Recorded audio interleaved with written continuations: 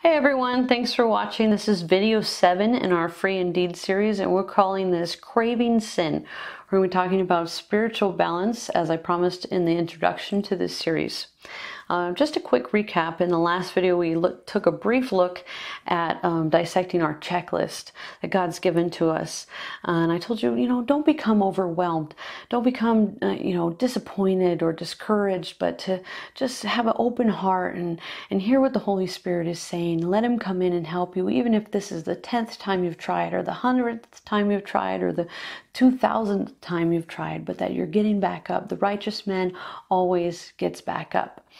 Um, but maybe you saw my last video and maybe you're saying, you know what, I can't break free from that. I've tried many times, I've asked for help, um, but when temptation comes around, I fail. Uh, or maybe you're saying, sometimes I even go out to pursue it myself. I don't even need temptation to come to me. I go out and seek it myself and, and crave after it. And so that's what we're talking about, craving sin. Um, so this video is definitely for you. And what I'd like to say here is just that my response to your, your condition is that you're spiritually imbalanced. Um, just like we have physical immune systems, we also, I like to think that we have spiritual immune systems. And just like we have physical cravings, we have spiritual cravings, right? And where do cravings come from? Physical cravings come from often from a, a deficit, right? Something that's lacking within us physically, like a vitamin or a mineral or something that we're not getting in our diets. And so our, our body's sending this signal saying, I'm missing something. And wouldn't it be nice if it would just say, hey, we're a little low on iron today, or we're a little low on thiamine, but it doesn't work that way. And so it just sends this signal saying, hey, something's missing. I don't feel good. And, and so then we start craving something and, and like a cookie, right? And we're like, well, we know that the cookie, it, it didn't really solve the deficit, but boy, did it feel good. And so it's the same way spiritually. Our spiritual immune systems, when we're craving sin, it's because spiritually we're lacking. We have a deficit going on and we're saying, you know, our, our spirit saying, hey, um, last time I felt lonely, uh, last time I was frustrated, last time I was depressed, um, instead of going to the Father, um, you know what, I went to drugs or I went to drinking or I went to sleeping around or I went to who knows what, right?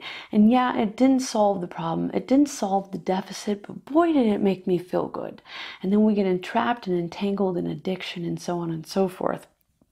So it's the same way, physically, spiritually. It's a good way of looking at it.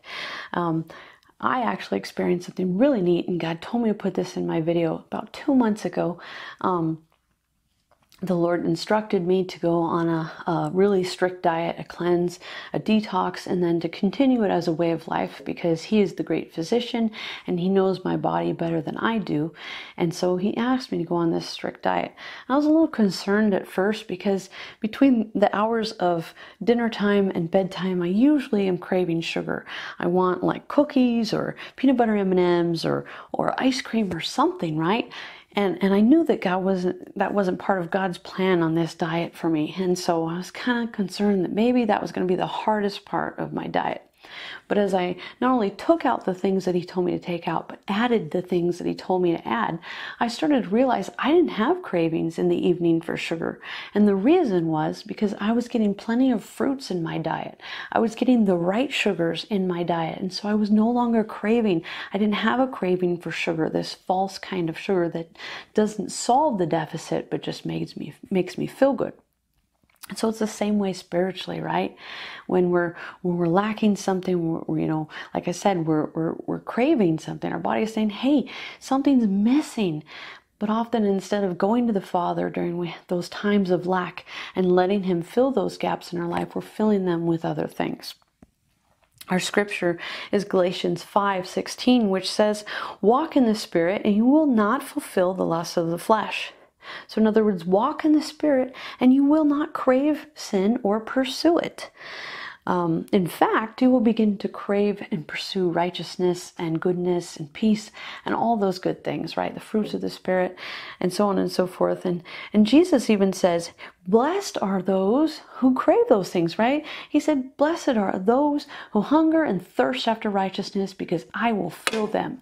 And so we will know that our spirits are spiritually balanced and they're getting exactly what they need when we start craving and, and pursuing and, and hungering and thirsting after righteousness but we don't always walk in the spirit. Um, we sometimes walk in the spirit right? Our lives are the opposite. We often um, have more of the world and more of entertainment and more of uh, all these other things and just a tiny bit of jesus. But if we flip that around and we start feeding our spirit more like we're, we're getting a prayer and devotion in the morning we're listening to worship music or singing worship music all day long every moment that we have that's free we're we're praying to god we're asking him to help us you know um, um, we're, we're anytime we're sitting down alone, we're bored. Instead of putting on a movie, we're putting on a message, right? We're we're abiding, we're we're walking in the spirit at that point, okay, not the opposite, where we're reaching to worldly things.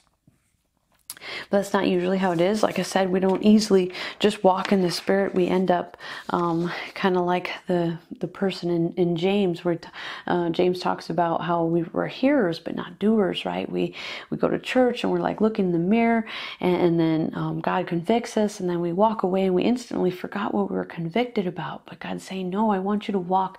I want you to look into the perfect law of liberty, so that you will know who you are, so you can walk in righteousness, and make the changes that need made." Um, I often tell my kids they, you know, they grumble and complain during the test, saying this wasn't on the test or this wasn't in the material, and they're, I don't even know what the answer this is. And of course, it's a test, and I can't help them. But I always tell them they're not going to give you a, a test on something they didn't give you material for. And 1 Corinthians 10:13 talks about, and I'm sure you've heard it, how it says, "No man is tempted beyond what he can handle." Right? And God doesn't tempt us. The Bible says God doesn't tempt us, but He does test us. And so God doesn't test us on something He didn't give us the material for, something that He can't really expect from us. You know, and we say, "Well, obviously He did because I, I failed. I, I didn't pass the test." Well, and the reason is because you're not walking in the Spirit.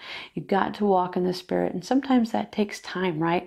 It's like a, a, plateau when you are actually dieting to lose weight.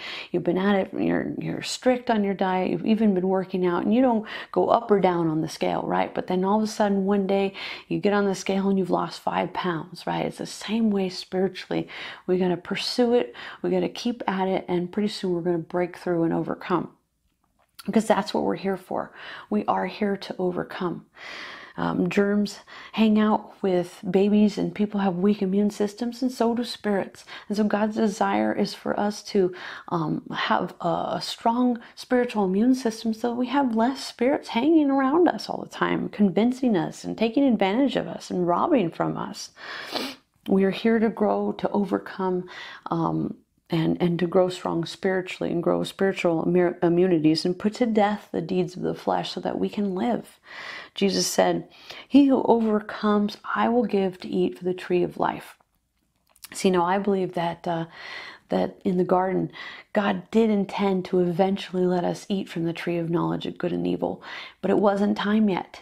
And so um, man was still in his infancy and he didn't have the spiritual immunities yet to handle eating from that tree and that's why god said you shall surely die. Okay and god and satan knew that. And so of course he came to still kill and destroy like he always does and rob that from us. But god said okay now it's done. They've eaten from that tree. Now they're going to overcome. They're going to grow up spiritually. They're going to mature. And when they do, when they overcome, then I will give them to eat of the tree of life. And so, just like Jesus said, I will give them who overcome this right. And so we're here to grow and to mature, but we can't do that with the cares of the world and the riches and the pleasures of this world choking us, making us unfruitful. And the enemy's quick to dangle those things in front of us, right?